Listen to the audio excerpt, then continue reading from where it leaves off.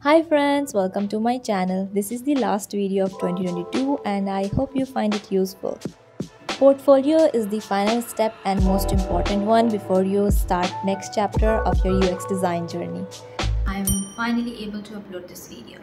I've been working on my portfolio for more than two months and now it's finally ready. I had a lot of ideas for what I wanted to do with my portfolio and I wanted this to be perfect. So yeah, it took a lot of time but finally it's ready and I'm able to share with you.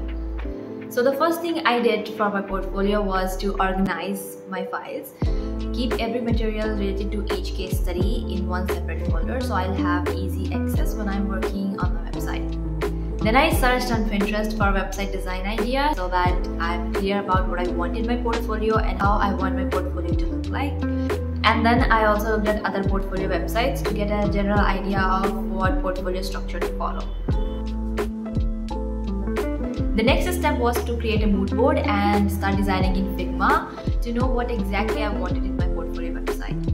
I created three designs for my homepage, for my portfolio page and.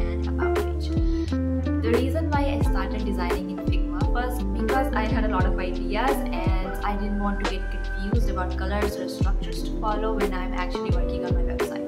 And I added every case study materials in Figma file. So now I have all the files ready, I have my portfolio structure ready, and I have my case studies ready. So the final step was now to create my website, just copy paste everything and follow the structure. I chose Wix because for me Wix is easy to understand. I designed my website from scratch because once I choose a template I keep changing between one template to another so this time I wanted to stick to my own design. But I'm going to choose a template here and design it for you and show how you can customize it according to your preference. I'm using this template because this is simple and is perfect for beginner designers. But if you want any other template you can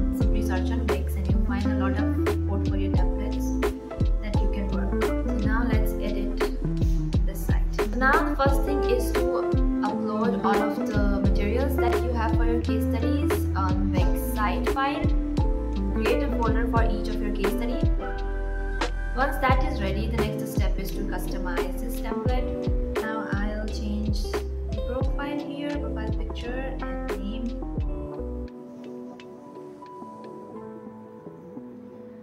I read somewhere to add your profile at the bottom of your homepage, but I've seen a lot of mid-senior designer and junior designers adding their profile on top of the page. I think this is better than adding it at the. Unless you are a very senior designer and your work speaks for itself, then it's fine. Otherwise, it's better to add on top of your page. Now we'll add short bio. Now here one thing I want to mention please don't simply write you are a designer trying to improve designs because we all are trying to improve designs and what makes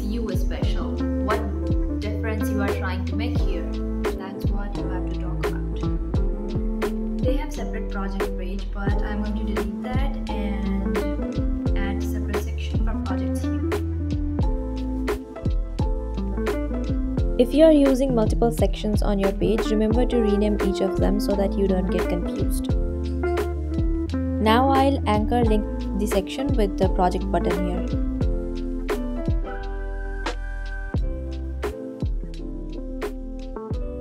Then edit this section and add your project details here.